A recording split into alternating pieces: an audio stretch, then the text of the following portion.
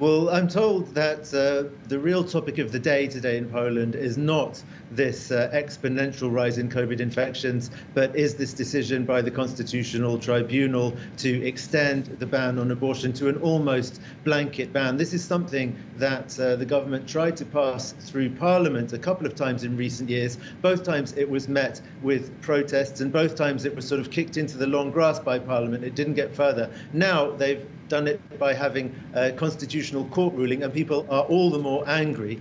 Um, women and men protested uh, yesterday about this, and there is another protest scheduled this evening outside the home of the leader of the ruling party, Jarosław Kaczynski, in Warsaw. I don't think that the new restriction on public gatherings, limiting them to five people, is going to discourage these people at all because they're really very, very angry.